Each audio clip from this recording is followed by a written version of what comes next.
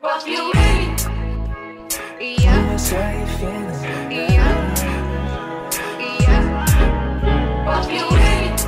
everybody, long time no see. I have been gone for a little minute, but I'm back.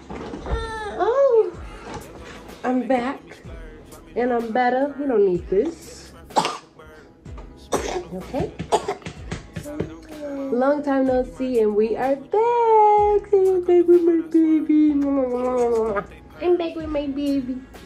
And today we're gonna be talking about his cradle cap journey because he went from bald to this. Okay, now he got some hair, he got some in. I can pull it. I could probably put it. I could probably put it in a ponytail. Ooh, look at that. We can make a little ponytail. But he don't be liking me touches touching his hair. I'll probably have to start doing his hair while he sleep. But yeah, I'm gonna be showing y'all everything that I use and how I got his hair from really thin, like the cradle cap took all his hair out and then I kind of was a problem too because I was scratching it out like all the flakes and stuff so I was scratching it out and his hair was coming along with the flakes so it was pretty bad we went from this to that this is like kind of where his hair is now. So we got some hair now compared to what we we had little thin lines okay? So that first picture that i showed y'all that was back in february of this year february of 2024 that was kind of my fault because I was told to get rid of the cradle cap and I was getting rid of his hair and didn't realize until it was too late. So February looking like that, very thin, no strands. I'm also I'm also put a picture up on the screen too so y'all can see. But February, um, February 26th, so the end of February, that's what his hair was looking like.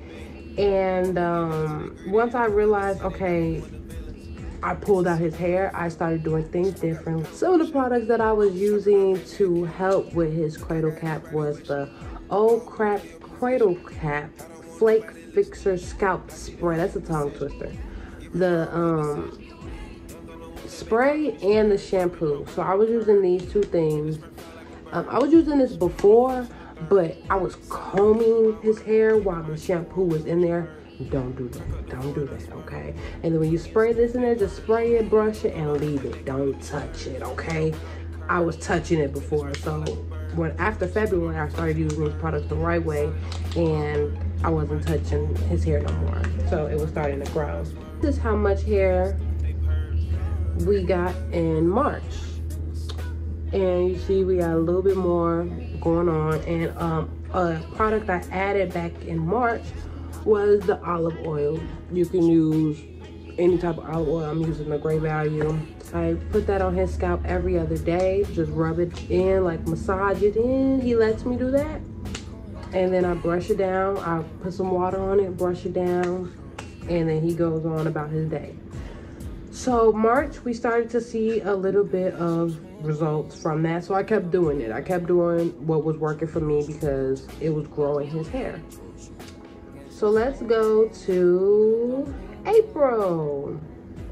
Um, it was kind of hard for me to get a picture in April, so I got one in the beginning of May, but we we had a head we had a head full of hair, okay? It was slicked down nice, okay, it was starting to get fuller, looking good, okay, back in um April, May. Into May, we were, you know, still I didn't get the size and stuff, but it was growing. I'm still slicking it down. June, we were here where I was slicking it down and then like he had little curls that wouldn't slick all the way down because he had too much hair. He had too much hair like his mama, okay? You got hair like your mama. but yeah, it was starting to curl up and kind of get to where we got now and that was in June. And um, the 4th of July, yeah, he, he got his curls. He was curled up. Yeah, he was good. Now we're in August. We are in August. And this is where, this is where we are in August. So let's do a 360. Boom, boom. so this is where we are in August. Okay, yes, yes. Show them that hair, boy. Show them that hair, okay? Down, look down, yeah. Okay, we got that boy been hair back. Okay, so I say probably by the time he's one, a, a lot of the gaps to be filled in. That's two months from now, so a lot of those gaps will be filled in. And um, yeah, I'm excited. I'm glad I got his hair back to how it was back on his scalp. I can't believe I pulled it out. It was my fault. I take full accountability for pulling out his hair with the clip. Yeah, we're gonna go ahead and I gotta put dinner on and make this jambalaya real quick for me and baby. He got some pasta and meat sauce right now and he's eating his little cheese puffs, so he don't play about his snacks. So I'm about to be a mommy real quick, go cook dinner and uh, turn on his shows because I literally just came home and it was like, I gotta record something. I'm tired of holding it off, holding it off. I gotta get something out there. So this video is going up tomorrow. I literally feel filming this on a Thursday. It's going up on a Friday. And um, I'm also post a video on my TikTok. I'm not sure what, but a TikTok video will be coming up soon. Something beauty related, okay? Something beauty related for sure. But thank y'all so much for watching. If y'all have any questions about anything or any products I use, where I got them from, how much they were, just let me know in the comments and I definitely will respond. Um, and don't forget to like the video and subscribe. Thank y'all so much for watching. Bye-bye. Say bye-bye. Bye-bye. Spin on the first and the third. Solid